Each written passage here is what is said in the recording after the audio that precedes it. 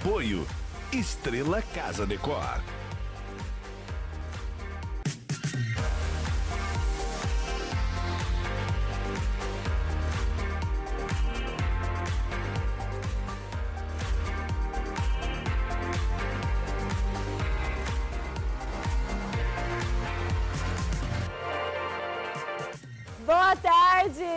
Tarde Três Lagoas, boa tarde meu amigo, boa tarde minha amiga, seja você muito bem-vindo, tá começando mais um A Casa é Sua, nesta quinta-feira, a famosa véspera de sexta, e amanhã eu falo que ela demorou, mas ela chegou, mas ela ainda não chegou, ainda é quinta-feira, e eu, Tati Simon, te faço companhia, porque tá começando mais um A Casa é Sua, ao vivaço, pela sua TVC HD, canal 13.1, e todo dia aquela história, né? Eu chego aqui com dois celulares, este daqui porque eu tô de olho na nossa live, aliás, no plural, duas lives, porque estão rolando lives simultâneas lá no arroba JPNewsMS, tô de olho, live no arroba Cultura e TVC, tô de olho também, e aqui na live, você sabe, você pode comentar aqui, interagir aqui nos comentários, né? Comentar nos comentários é redundante demais. você pode mandar seu recado aqui nos comentários, conversar comigo, você pode também curtir a nossa live, compartilhar, fazer ela chegar para um montão de gente. Manda aqui o seu beijo, o seu boa tarde, o seu alô super especial. Agora, o outro celular, o pretinho, este daqui, o rosinha, eu fico de olho na live. O pretinho eu fico de olho no nosso WhatsApp. Anota aí o meu contato, é o 992344539, o WhatsApp aqui da emissora, aqui da TVC. Da uma a uma e meia, ele fica aqui, ó, na minha mão, no meu comando. Então você me manda áudio, você me manda selfie, porque este WhatsApp é o WhatsApp de milhões. É o WhatsApp que paga para você um Pix de 500 reais e amanhã já vai rolar sorteio, viu? Pera aí que daqui a pouco eu explico como é que funciona. Hoje é quinta-feira, dia 30 de junho, dia do caminhoneiro. Sabia dessa, meu amigo Ricardo? Parabéns para todos os caminhoneiros. Podia ter uma buzina, solta a buzina, Naka. Vai, acha aquela. Aquela que você... Parabéns pros caminhoneiros. Aliás, eu tenho um recado pros caminhoneiros. Senhor caminhoneiro, senhora caminhoneira, se você passar por um repórter que esteja gravando na rua, não senta a mão na buzina, por favor. Ah, isso desconcentra o repórter, atrapalha. Mas ó, beijo pra vocês. Hoje o dia é todo de vocês, caminhoneiros, viu? Bom, Voltando aqui para o nosso WhatsApp, que ainda está aparecendo aí na sua tela, o 992344539, é o WhatsApp aqui da TVC. Você sabe que se você mandar a selfie, interagir aqui com a gente, vai chegar uma mensagem automática. Não é golpe, não é estelionato, fica sossegado.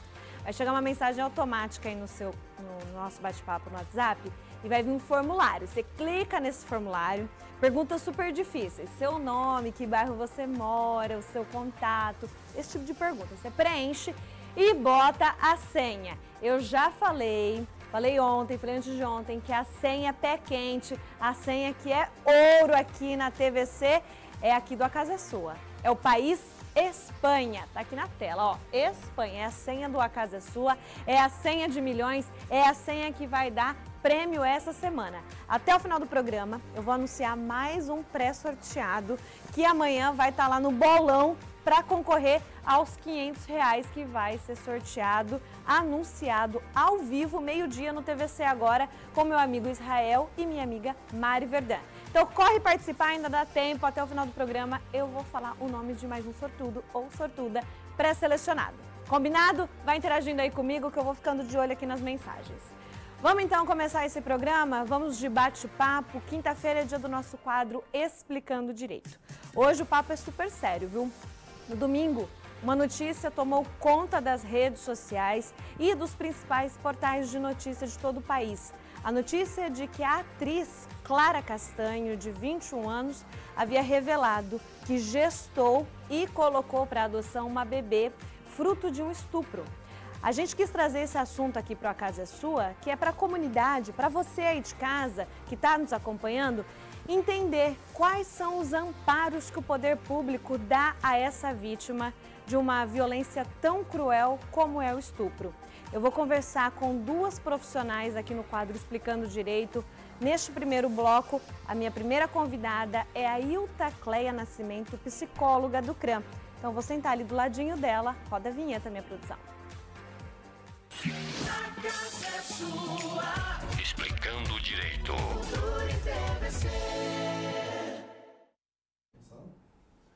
Bom, já estou aqui sentada ao lado da minha primeira de duas convidadas. Posso chamar de Cleia? Cleia? Pode, na Boa verdade, tarde. todos me chamam de Cleia. E o tá Cleia é muito sério. É, Então tá bom, Cleia, seja bem-vinda aqui em casa. Boa tarde. ótima tarde, eu sou muito agradecida pelo convite, né, em nome do, do, do CRAN, do Centro de Referência de Atendimento à Mulher, eu estou aqui nesta tarde Que hoje. bacana. Para falar de um assunto tão pesado, tão cruel, mas que ainda precisa ser de fato discutido, ser propagado, porque eu ainda enxergo que muitas pessoas, não vou nem dizer mulheres, muitas pessoas desconhecem até a existência do CRAM, o serviço do CRAM, o potencial do CRAM, a seriedade do CRAM. Então, a gente vai aproveitar esse fio, né? Essa história que culminou aí no domingo, para falar sobre isso. Então, eu, eu quero iniciar esse bate-papo, Cleia, justamente sobre isso. A mulher, ou ainda a jovem, a adolescente, vítima de um estupro, o que, que ela deve fazer num primeiro momento? A quem recorrer? Bem, esse é um assunto bastante difícil, bastante complicado, que gostaríamos que não acontecesse. Porém, é, infelizmente acontece tanto com mulheres quanto com crianças, com adolescentes. Mulheres, no caso, é, ou mesmo com crianças e adolescentes, a primeira é, atitude é buscar ajuda policial, né, denunciar, realizar boletim de ocorrência e também, logo em seguida, buscar a- os protocolos médicos, buscar um hospital para que seja feito todas as os protocolos necessários numa questão de estupro. De saúde. né, Exatamente. E o CRAM, ele vem para amparar em qual sentido? Aliás, em quais sentidos? Quais sentidos, né? No CRAM, nós fazemos o trabalho de eh, escuta qualificada dessa mulher.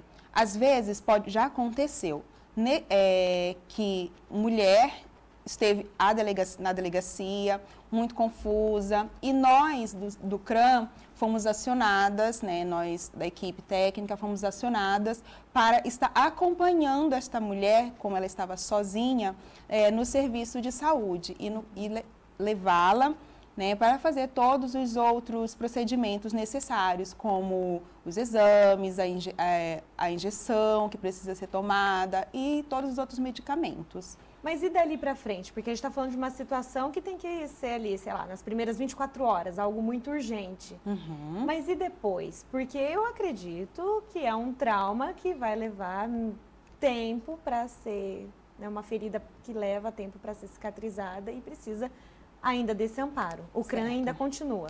Nós do CRAM, é importante frisar que no, nosso trabalho, ele não, não consiste em psicoterapia. né? A psicoterapia, em casos muito graves de, eh, de, de... A violência, ela traz um quadro traumático muito grande. Então, os profissionais, que, eh, mesmo que sendo psicólogos, eles estão eh, habilitados a fazer isso dentro do contexto da saúde. Né? No CRAM, eh, em específico, como nós fazemos parte da, da assistência social, nós sim fazemos essa acolhida da mulher eh, naquele momento ali eh, de grande eh, sensibilidade. Eh, também trabalhamos aque- aquele momento dela se acalmar, vamos dizer assim, acalmar, porque o desespero toma conta dessa mulher e ela não sabe o que fazer, muitas vezes quer, é, pelo impulso, deseja tomar atitudes precipitadas. E nós ali a acolhemos no sentido de explicar como funciona é, todos os outros serviços que ela tem direito. O direito ao serviço da justiça, por onde começar, aonde ir, essa questão da psicoterapia, o que, que nós fazemos? Entramos em contato com a rede de saúde, que geralmente a RAPS ela é, ela é responsável. O que, que é a RAPS? A rede de atenção psicossocial. Entramos em contato com os profissionais dessa, né, dessa rede, né, para que eles é, é, é, coloquem essa mulher no sistema de regulação da saúde, para que ela é, seja amparada, para que ela seja atendida nessa necessidade no contexto da saúde mental. Cleia, como que essas mulheres chegam? Como que essas vítimas chegam para vocês no CRAM?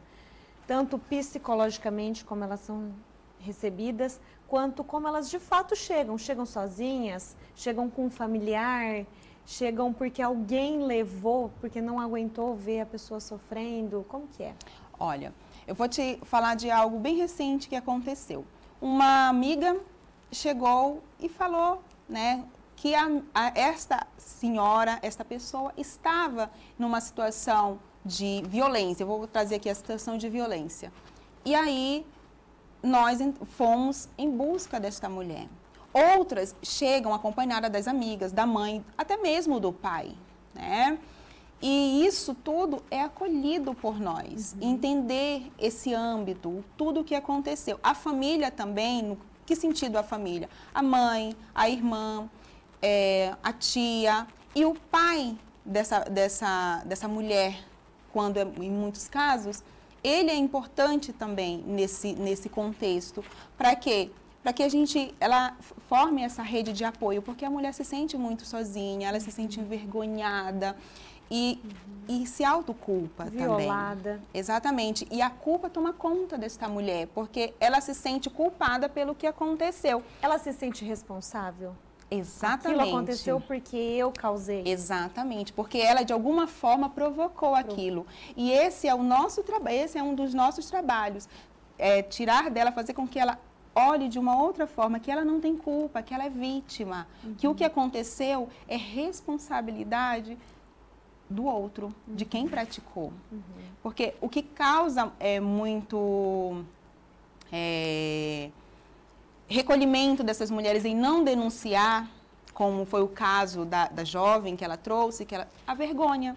Sim. O medo da exposição. Sim, essa própria, né, que a gente começou falando, a atriz Clara Castanho, na carta aberta que ela publicou, ela cita que não procurou a polícia, que ela não registrou o boletim de ocorrência. Uhum. Justamente por vergonha. Justamente por vergonha, até mesmo porque ela é uma pessoa pública, né? Uhum. Iria acontecer o que de fato aconteceu. O que já está acontecendo. Né? Está acontecendo os julgamentos. Uhum. E é uhum. assim que toda mulher, nesse contexto de vítima de um estupro, ela é tratada no meio social, que ela é culpada, que é, será que ela estava bêbada, quem mandou beber, quem mandou fazer qualquer coisa, sem antes é saber o que aconteceu, existem vários estereótipos, uhum. que aí, o que, que ela faz?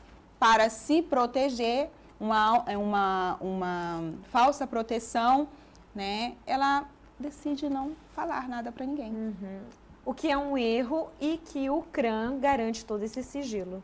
Nós, nos nossos atendimentos, a gente garante para a mulher o sigilo e o acompanhamento dela, até onde ela achar necessário. Uhum. No, no, início, geralmente, essa mulher está tão fragilizada que ela acha que não é necessário. Uhum. O atendimento, não, não precisa, tudo bem. A ficha nem caiu, talvez. Isso. Aí, o que, que acontece?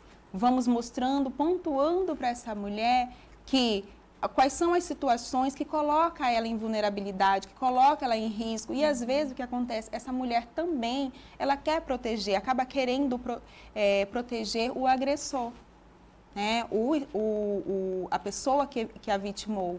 Então, nós mostramos para ela ali, fazemos um panorama de que ela é vítima e que ele é culpado. Uhum e que ela precisa ser cuidada. Então ela aceita e vamos estar fazendo esse trabalho com ela de conscientização, de, é, de responsabilidade com ela e não com o outro, com o que o outro fez, que a partir dali ela precisa cuidar dela e se curar emocionalmente, porque o, o abalo emocional é muito grande e traz também várias é, dificuldades no decorrer da vida, uhum. inclusive até mesmo nos próximos relacionamentos. Uhum, com certeza. Ô Cleia, como que é a realidade aqui em Três Lagoas, é, no sentido estatístico, casos que chegam são muito altos se a gente comparar com outras cidades do nosso estado. E, é claro, os casos são sigilosos, mas eu gostaria de saber, à medida que você puder me responder, quem são esses estupradores, né? Quem são esses agressores? São pessoas próximas da família? São amigos de dentro de casa ou são pessoas estranhas? Olha, num contexto geral, é, a pessoa, o agressor, que no caso é a pessoa que estupra, né, o, o homem. Ali, sabemos também que existe, existe a questão de mulheres que cometem esses tipos de, de, de delito, Violência. né, de delito. Porém, aqui o caso é homens que é, estupram mulheres, uhum. crianças, adolescentes. E o perfil dessas pessoas é, é não desconfiar, pessoas que vivem, convivem com essas vítimas. A maioria é assim. Existem os esporádicos, que é numa situação de que a mulher não tem nenhum tipo de vínculo com a pessoa, nunca nem o viu. Mas a maioria dos, é, dos casos é algum vínculo, ou é amigo, ou é tio, ou é irmão, ou é avô, ou é pai. Ou seja, está dentro do círculo familiar. Uhum. E a vítima geralmente está numa situação de vulnerabilidade, ou seja, às vezes fica sozinha em casa, né, com o agressor, tem dificuldades, por exemplo, de físicas, tem é, problemas mentais. Uma criança, como eu digo, que é manipulada o seu psicológico para que ela sinta medo e ela também não conte. Adolescente, por, pela, pelo nível da vergonha já ser instalada é, nesse adolescente, ele também tem vergonha de se expor, acaba retraindo para si. E tudo isso são fatores que levam quando é uma questão esporádica, de repente, está numa parada de ônibus, sozinha, andando numa rua escura, ou até mesmo quando a mulher está num evento, ela é dopada. E, então, existem vários fatores que podem é, tornar essa mulher uma potencial vítima. Uhum. Nesses casos esporádicos, a recomendação é que a gente sempre ande acompanhada, pelo menos com uma outra amiga? É, sempre isso, uhum. ande acompanhada, mas quando a pessoa, ela já, você não conhece, e de repente essa pessoa já, já monitora os teus passos, ela já sabe como que ela, ela vai arquitetar e se alguma coisa diferente acontecer, como que ela vai agir. Então, o ideal é sempre estar prevenida no sentido evitar as situações que a colocam em vulnerabilidade. Não dá margem para o azar. Exatamente. Cleia, obrigada por este bate-papo. Foi um prazer te receber aqui em casa. A gente vai fazer uma pausa bem, bem rapidinho e no segundo bloco a gente volta com a sua amiga, também lá do CRAN, a psicóloga Gisela Rosa, no segundo bloco. Obrigada, viu? Beijo para você. Muito obrigada. Vamos fazer uma pausa rapidinho, já já tem mais a casa é sua.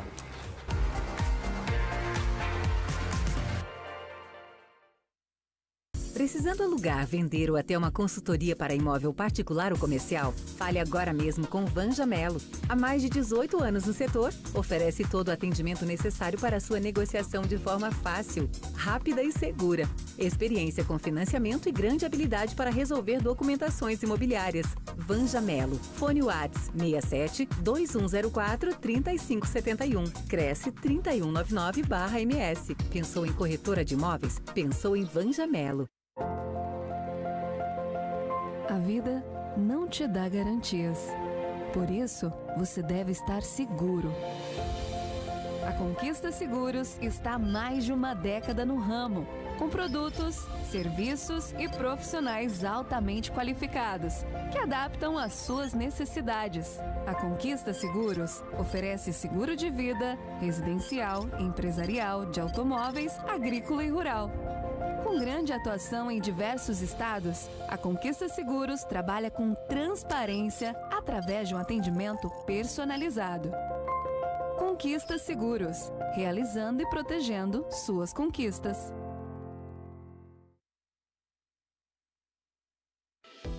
Agora o coração do Três Lagoense vai bater mais forte. O Hospital Cacemes de Três Lagoas traz o mais novo e moderno aparelho de hemodinâmica da Neurocor, uma revolução para a saúde de nossa cidade. São exames e procedimentos da circulação sanguínea e do coração, através de um diagnóstico completo e muito preciso. Qualidade e segurança para você. E o melhor é aqui no Hospital Cacemes, com atendimento a diversos convênios e particular. Mais informações ligue no 3919 1190.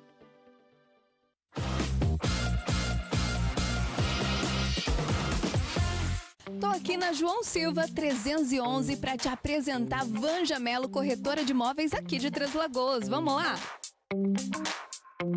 Olha só que escritório lindo, maravilhoso dessa mulher, gente. Vanja, fala pra mim, por que, que eu devo escolher comprar minha casa com você? Porque eu já estou no mercado há 18 anos, porque eu já atuo em vários segmentos financiamento, locação, venda e o mais interessante, eu tenho todo o conhecimento na área de documentação como despachante imobiliário. Aqui você vai estar segura, num ambiente muito agradável, aconchegante, com profissionais maravilhosos, bem treinados.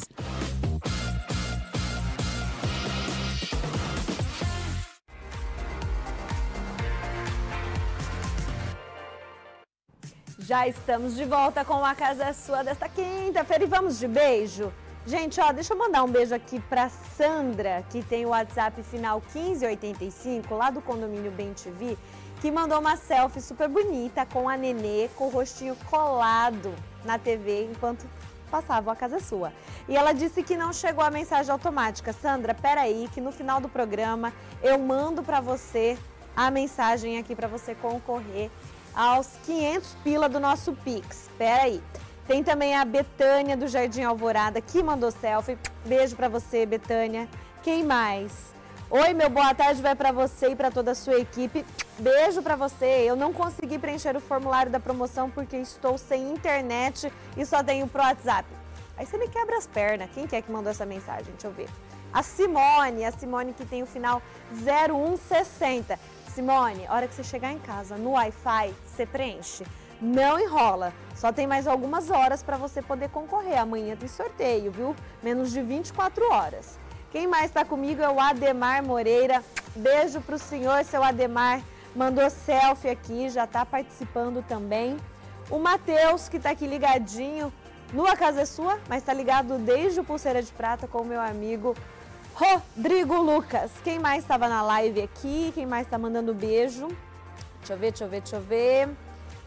Rod... Mandou aqui palavra da senha. A Marta Correia mandou aqui a senha França. A senha é França lá no Pulseira de Prata, ô dona Marta. Aqui no A Casa é Sua é Espanha. E vai por mim, vai dar Espanha essa semana, viu? No balão dessa semana vai sair Espanha aqui no nosso Pix. Bom, vai mandando aqui mensagem, vai preenchendo formulário, vai colocando senha Espanha. Enquanto isso, a gente segue o A Casa Sua com mais bate-papo.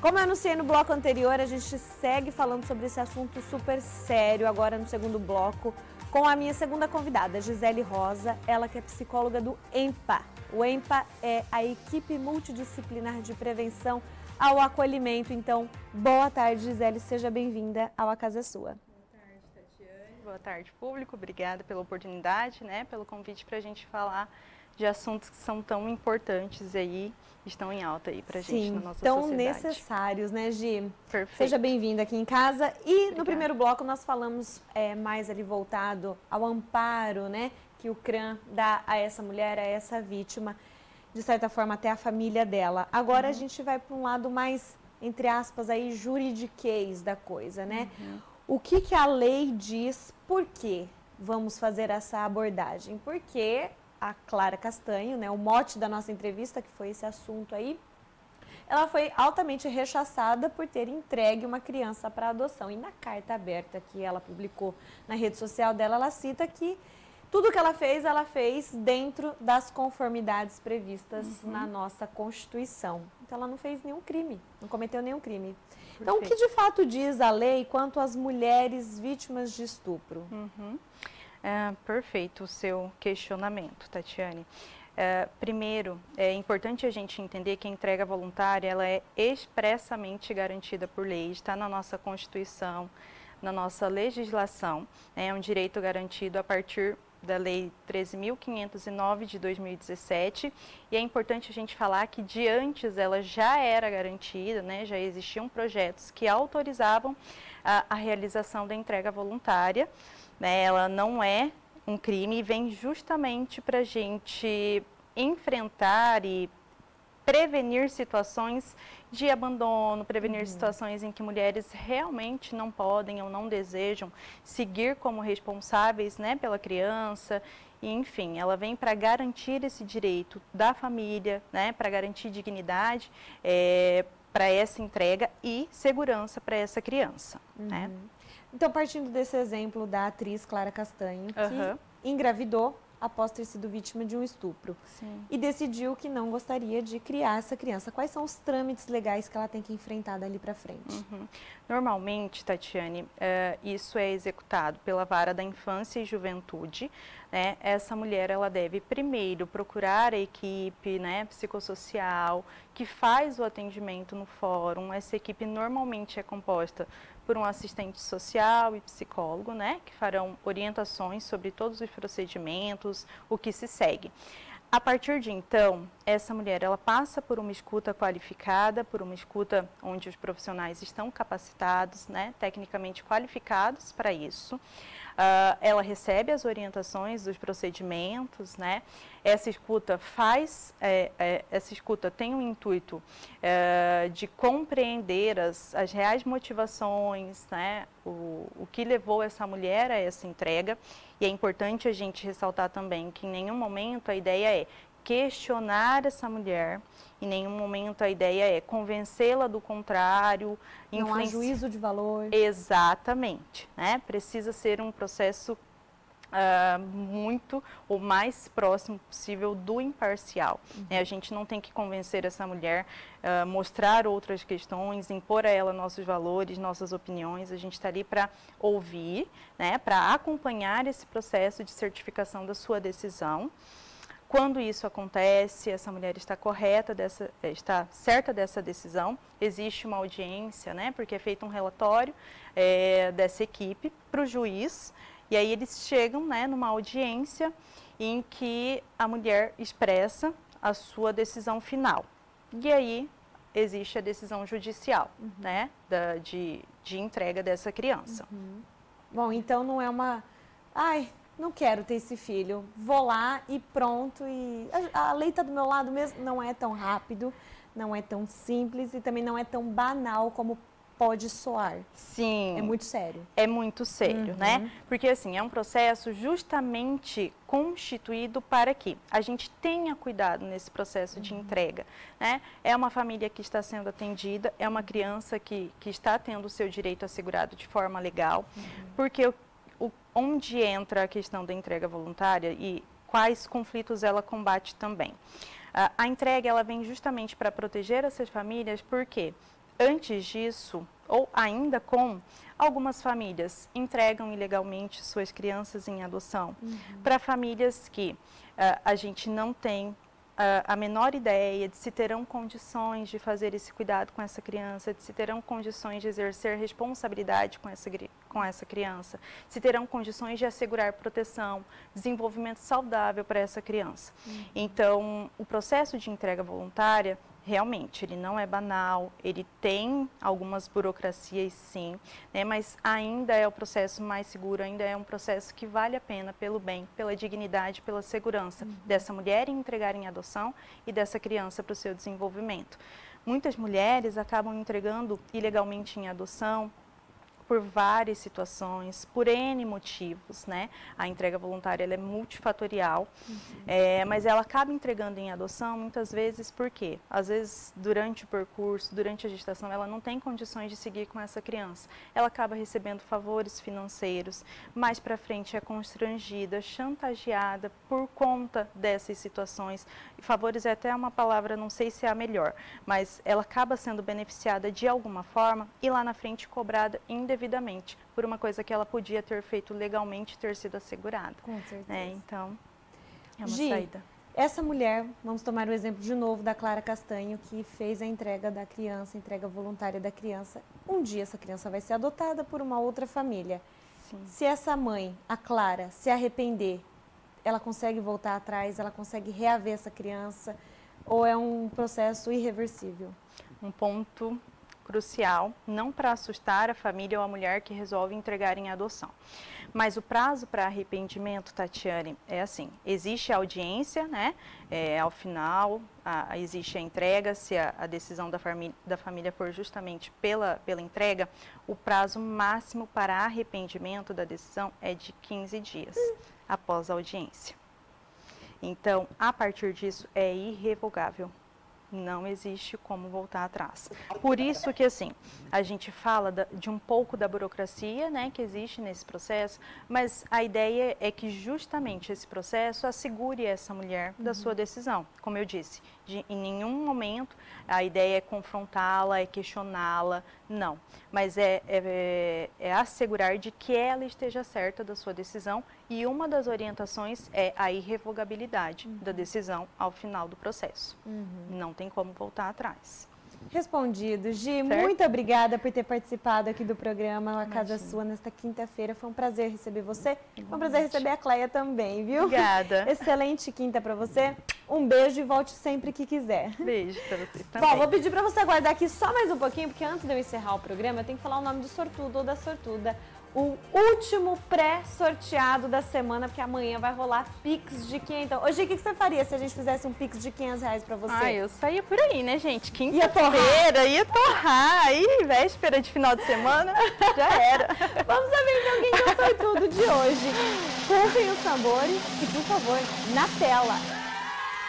Eliana, Eliana Maria de Paula André, moradora do Paranapungá. Gente, essa região aqui ontem foi Vila Nova, anteontem foi Vila Nova também, hoje Paranapungá. A sorte tá aqui, ó, bandeada para esse lado da cidade, viu? Pessoal da Vila Aro, São João estão aí tudo chupando dedo porque não tá para vocês a sorte não.